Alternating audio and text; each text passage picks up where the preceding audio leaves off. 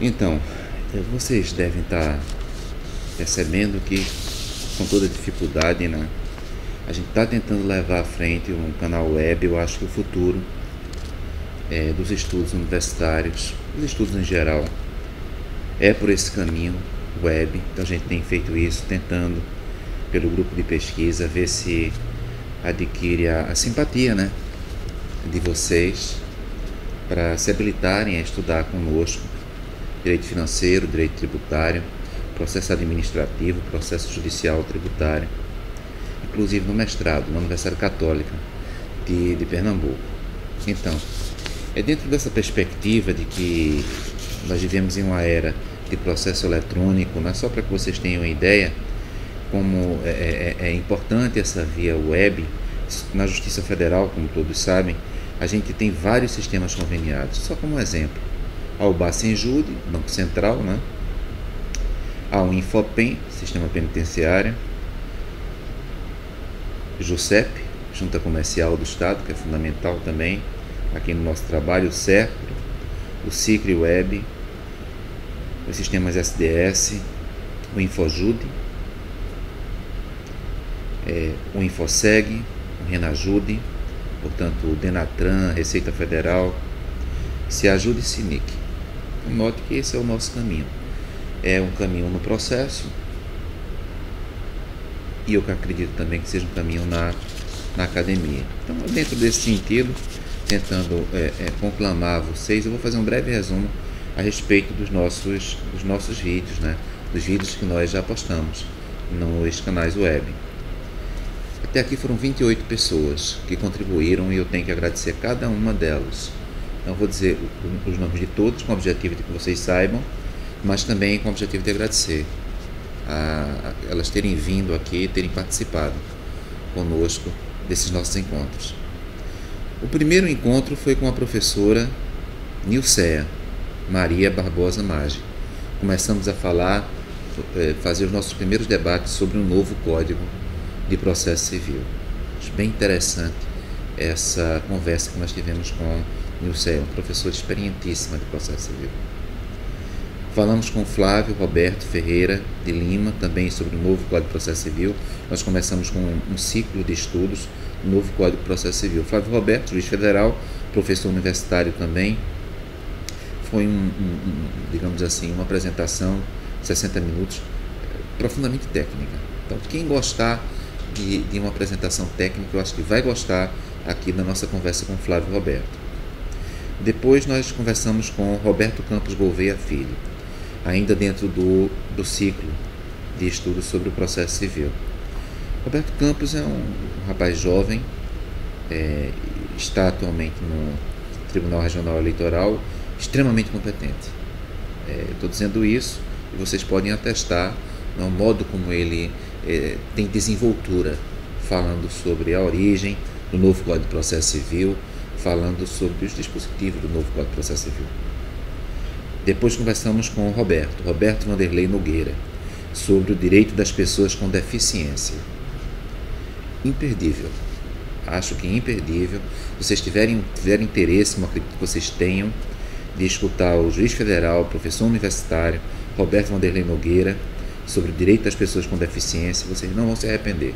Muito boa, eu creio, a conversa que nós tivemos, muito elucidativa com Roberto sobre um tema importantíssimo: pessoas com deficiência, direito das pessoas com deficiência. Depois nós é, voltamos ao novo Código de Processo Civil, com o professor juiz federal Frederico Koller, também jovem, uma pessoa inteligente, culta, que nos ajudou bastante. É, assim como Francisco Antônio de Barros e Silva Neto, também sobre o novo Código de Processo Civil. Acho que eles dois dão uma visão do novo código que é também imperdível. Conversamos com o Dr. Hélio Vanderlei de Siqueira Filho, uma pessoa com grande experiência, juiz federal também, sobre os tribunais regionais federais no Brasil, desde a criação até tratando da emenda constitucional 73, que foi suspensa por medida cautelar. É aquela que cria quatro novos tribunais regionais federais. Depois, nós conversamos com Adriana Rocha de Holanda Coutinho sobre os novos aspectos de direito constitucional, sobre a OAB. Enfim, É, a Adriana é uma pessoa como vocês conhecem, é, é professora, é, com uma formação dentro da OAB, com a tradição dentro da OAB e é, de, uma, de uma simpatia extrema, com uma facilidade de expressão grande que acredito que fique muito claro nesse vídeo. Falamos depois com o processualista de São Paulo, juiz, federal de São Paulo, professor Eduardo José da Fonseca Costa, sobre o novo Código de Processo Civil. Depois falamos com, em termos de imposto de renda de pessoa física, uma das pessoas mais experientes nessa área aqui em Pernambuco, com Alexandre de Moraes Rego. Com quem quiser eh, discutir imposto de renda, eu acho que Alexandre é a pessoa certa, não é? Alexandre de Moraes Rego, é auditor da Receita Federal. Depois passamos a conversar com Francisco Alves, dos Santos Júnior, é, professor, juiz federal experientíssimo, um dos mais antigos, assim como Roberto Vanderlei, na Quinta Região Federal. Falamos sobre direito financeiro e tributário, da importância de estudar o orçamento, da importância de saber de onde o dinheiro vem para onde o dinheiro vai. Democracia adulta é isso. Passa pela questão orçamentária e o Alves nos ajudou bastante nesta perspectiva.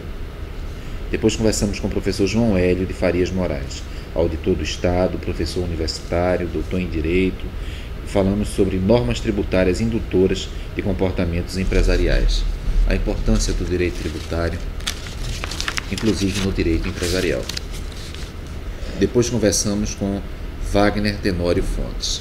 Bom, o Wagner, como vocês sabem, durante muitos e muitos anos, procurador-chefe do Banco Central, professor universitário, é, eu creio que nos ajudou é, bastante é, tratando dos contingenciamentos, do Banco Central em si, da questão orçamentária.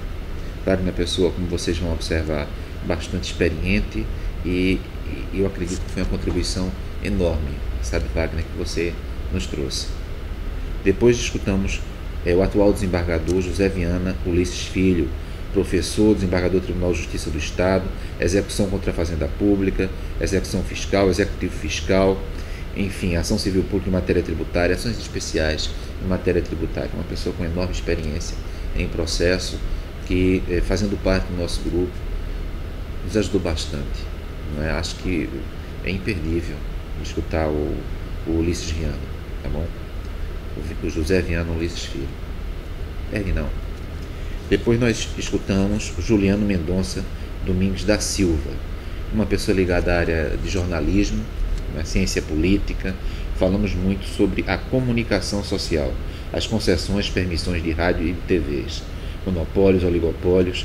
É essencial. Não adianta você é, ter um, um pensamento se não consegue externalizar, se a mídia não se interessa por ele se não tem é, caminho para divulgar os seus estudos. Eu acho que o Juliano Domingues, como jornalista, como cientista político, conhecido que é aqui na, na cidade de Recife, em Pernambuco, no Brasil, eu acho que é, participou durante muito tempo da TV Justiça. Eu acho que a perspectiva que ele tem de comunicação social é, ajuda muito na, nos nossos estudos jurídicos, no estudo do grupo é, Política e Tributação. Depois nós escutamos o doutor Francisco de Queiroz Bezerra Cavalcante, aliás, por mais de uma vez, é, desde é, financiamento de campanhas eleitorais, passando pelo novo CPC, pela TNU e também pelas experiências é, administrativas em Portugal, França, Inglaterra, Estados Unidos, Alemanha, Áustria. Muito rico foi, muito rica foi essa conversa com o Dr. Francisco Queiroz Bezerra Cavalcante, atual diretor da Faculdade de Direito do Recife, professor titular de Direito Administrativo da FDR UFPR. Então, também muito interessante. Uma pessoa com grande cultura e é, é, fizemos quatro blocos, mas teve mais e nós pretendemos colocar aqueles que nós é, temos, mas ainda não editamos. É, é, não por nossa culpa, mas porque não houve possibilidade ainda, mas tem mais sobre a questão do concurso público, é, sobre a questão dos tribunais de contas, sobre o direito administrativo. Depois escutamos o professor Raimundo Juliano Rego Feitosa, quatro vezes presidente do, à frente do Comped, que encampa todas as universidades, é um, um evento jurídico que encampa todas as universidades do país, projetos, pesquisas e nós conversamos sobre isso, mas também sobre Mercosul, Espanha, Portugal. Um, o professor Raimundo Juliano tem uma formação na Espanha bastante sólida e também, claro, em direito financeiro, tributário, constitucional, no âmbito da pesquisa, dos mestrados acadêmicos e profissionais, tema que será na próxima segunda-feira, mestrados acadêmicos e profissionais, com o professor doutor Ricardo, é, professor doutor Gustavo Ferreira Santos. Acho que vai ser imperdível, próxima segunda-feira, Gustavo Ferreira Santos sobre mestrados acadêmicos, profissionais, sobre a experiência, que é muito breve que ele possui nisso também. Depois nós escutamos o professor Francisco Ivo Dantas Cavalcante. Falamos sobre a TV Justiça, sobre a supralegalidade, os tribunais constitucionais. O professor Ivo Dantas, é, é, é, é não preciso falar, acho que todos vocês conhecem, experientíssimo nessa área, professor do mestrado, doutorado, da Faculdade de Direito do Recife, foi uma, uma, das palestras mais, uma das conversas mais queridas, não é? é que provocou, digamos assim, mais comentários é? positivos sobre a nossa iniciativa, que é difícil, vocês estão vendo, já tivemos problemas de, de som, de imagem, mas esperamos continuar com o apoio de vocês. Depois nós escutamos o padre, professor Francisco Caetano Pereira. Eu adorei. Achei ótimo ter a possibilidade de falar de falar sobre o novo conceito de família, da influência histórica da religião no direito, no Estado, sobre as imunidades tributárias, enfiteuses públicas, enfim, santas casas de misericórdia. Achei interessantíssimo. Sobre Constantino, Novo Testamento, os livros que compõem o Novo Testamento e interferência da, eh, da religião no Estado e do Estado na religião. O professor Francisco Caetano Pereira nos ajudou demais num tema que eu considero, que nas minhas postagens vocês observam, fundamental. Então, depois nós escutamos o professor Leonardo Carneiro da Cunha sobre o novo Código de Processo Civil. Preciso falar pouco, não é? Eu acho que todos vocês conhecem o professor Leonardo, a Faculdade de Direito do Recife, procurador do Estado. Enfim, uma pessoa que participou da confecção desse novo Código de Processo Civil, que tem um posicionamento claro e ele deixa isso num, num vídeo. É, enfim, de maneira insofismável. É a postura e eu acho que vale muito a pena é, escutar o professor Leonardo, que nos deu a possibilidade, com também um espaço de tempo tão curto que possui como os demais, de ter vindo é, conversar conosco. Também eu acho que a gente tem que agradecer muito ao Leonardo. Depois nós escutamos o Marcelo da Costa Pinto Neves, que eu vou, que eu vou dizer. Marcelo é um dos principais intelectuais é, no mundo. Não é uma pessoa fluente em alemão, uma pessoa que está cada vez mais próxima das universidades norte-americanas, e eu, por exemplo, falamos sobre muitos assuntos, mas basicamente eu destacaria a questão da prática e da teoria como é, coisas aliadas, como aliados e não como oposi oposicionistas. Reunir teoria e prática, a experiência dele no Conselho Nacional de Justiça é, é foi algo é, muito interessante. Falar sobre a sobre cidadania, falar sobre a realidade atual brasileira, enfim. É, Falamos até sobre a questão do impeachment, do pedido de impeachment é, na área federal. Depois falamos com Manuel de Oliveira Erardi. Bom, o que, é que eu posso dizer para vocês? Desembargador do Tribunal Regional Federal, uma pessoa muito querida pelos alunos. Falamos aqui sobre os modelos da Justiça do Trabalho, da Justiça Federal, as alternativas que existem sobre concursos públicos, os limites da toga, eh, os novos TRFs, as câmaras regionais federais, a delação premiada, falamos sobre vários assuntos, sempre com a, a perspectiva da estrutura, da organização da Justiça Federal no Brasil. Então, os assuntos tiveram por modo central a Justiça Federal no Brasil, ou seja, é interessante e a partir dali eu comecei a discutir que a Justiça trabalha com processo e com gente. E gente mais importante do que processo e é, portanto, fundamental conhecer a estrutura para conhecer as pessoas que são colocadas na estrutura. Então, acho que foi ímpar essa nossa conversa com o atual diretor da Escola da Magistratura Federal da Quinta Região, o Manuel de Oliveira Herado. Depois falamos com a simpaticíssima professora Miriam de Sá Pereira. O que é que eu vou dizer? É, falou sobre a vida, sobre a trajetória da mestra, sobre metodologia, linguagem jurídica, direito alternativo, adorei a professora Miriam ter vindo. Acho que vocês também. Basta verificar que ao lado de Marcelo é, é, estão entre os vídeos mais assistidos, mais visualizados. Então, obrigado, professora, professora Miriam. Depois falamos com o professor doutor, vice-diretor da Faculdade de Direito do Recife, Ivanildo Figueiredo Andrade de Oliveira Filho. Falamos sobre um tema que eu creio sub, é, subutilizado, um tema fundamental, direito notarial e direito registral. Olha bem, e, e as suas interferências no direito tributário, a emenda constitucional 20, a lei 12.965 de 2014, que trata do marco inicial da internet, falamos sobre o CNJ, Supremo Tribunal Federal, mas sempre com a perspectiva do direito notarial e registral. Acho que dificilmente, 110 minutos, dificilmente vocês vão encontrar um vídeo tão completo sobre direito notarial e registral que este que a gente conseguiu eh, fazer com o Ivanildo.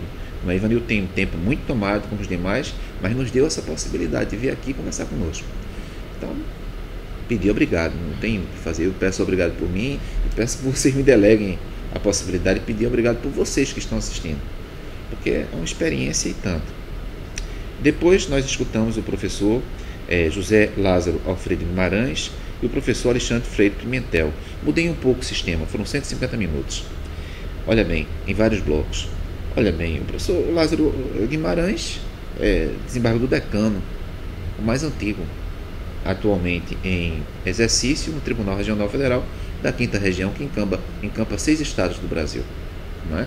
É, e a gente teve, portanto, a oportunidade de falar sobre o novo Código de Processo Civil, tomando em consideração tanta experiência. E também o professor Alexandre Freire Pimentel, é, professor da Universidade Federal de Pernambuco, Faculdade de Direito do Recife, da Universidade Católica também de Pernambuco, uma pessoa com vários cursos já ministrados sobre o novo Código de Processo Civil, é, é excelente. Né? Então eu digo, olha, voltem de novo vocês. Acho que vale a pena a gente continuar conversando. Não é?